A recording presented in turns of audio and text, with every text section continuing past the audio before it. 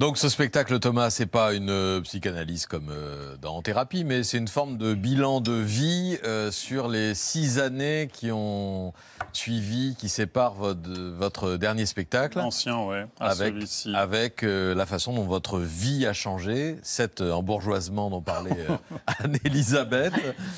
Euh, oui, il y a un peu de ça, mais, mais c'est très proche de, de- Enfin, en tout cas, moi, ma façon d'aborder le spectacle, parce que je, je travaille avec ma femme sur ça, euh, Carole qui, Rocher qui, qui fait la mise en scène, mais c'est pour moi, c'est très violent, en fait. C'est c'est clairement une thérapie, en fait. Ah oui Ouais, parce que, ce que je- là où je suis drôle, c'est dans les zones où j'ai pas du tout envie d'aller. C'est pour faire rire de banalité. euh, je pense que ça a la portée de beaucoup de gens. Mais là, dans les zones d'ombre, c'est vraiment là qui, où ça m'intéresse d'aller. Et c'est vrai que je me fais un peu souffrance quand j'écris un spectacle. ouais. La différence, c'est qu'en thérapie, normalement, le patient paye. Là, c'est les spectateurs qui payent pour vous faire votre thérapie. Ouais. Quoi. Et ils se rendent pas, ils se rendent pas compte. Ce qui est drôle, c'est qu'ils se rendent pas compte qu'ils me font un bien fou en fait. C'est que je ris de douleur, je ris de souffrance, et au final, euh, on exorcise tout. Et le temps d'un soir, tu te sens bien, en loge, tu te sens bien, et quand tu rentres chez toi, tu te sens mal. Mais, après, euh, tout repart de plus belle. C'est un circuit sans fin, mais c'est génial, c'est génial. Moi, j'adore la scène. Je peux pas abandonner. C'est là d'où je viens. Et, et je ne vais pas dire que c'est là où je finirai, mais, mais, mais jusqu'au bout, tant que je tiendrai debout, je continuerai. Est-ce que votre petite dernière Carmen a vu le spectacle puisque apparemment c'était l'un des objectifs euh, vrai que vous étiez fixé en écrivant celui-ci C'était, c'était ouais, parce que ma, ma, ma fille précédente, Angelina, avait eu la chance de me voir sur scène et j'ai vécu des choses folles. Enfin, il faut me dire qu'on mettait des photos pareilles, parce que je vais me mettre à chialer en deux secondes.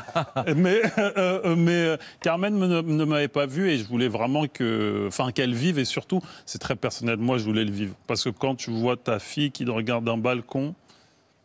Enfin, je sais pas, tu Ah te oui. sens. Oui, c'est. pff, Il peut rien t'arriver. Alors, ne, ne- Ouais. ne- ne regardez pas si vous voulez, mais pour les téléspectateurs, on va voir la plus grande vous rejoindre sur scène. Ouais. Voilà, et voilà, et voilà. Et voilà, c'était en novembre dernier. Ouais. Et elle finit dans les bras de son papa. Et donc, entourée de filles et, Oh de, et de femmes, Ouais. euh, puisque, donc, vous l'avez dit, c'est l'auteur, l'autrice et comédienne Carole Rocher, Ouais. votre femme, qui vous, euh, qui vous met en scène. Et euh, votre femme, réaction de votre femme, Carole, quand vous faites euh, rire la salle. Ah. Regardez. Les soirs où Thomas a été très drôle et a fait rire la salle, et où, où je trouve que là, c'est bon, il a son spectacle et, et ses thèmes, bah moi, c'est des soirs où, où- où je pleure en fait. Là où il est le plus drôle, moi, ça me fait pleurer parce que c'est hyper touchant. Ah, c'est formidable. Ouais, ouais, ouais, ça paraît. pff, là, je sais pas, il y a plein, il y a beaucoup d'émotions bizarrement, mais, mais non, non, c'est. C'est son ressenti. Moi, c'est ce qui nous pousse. Enfin, je sais pas, on, est, on a trouvé un équilibre artistique depuis un petit moment et je sais pas, je, je la rends heureuse, elle me rend heureuse, je la laisse me, me guider Bon, sur scène.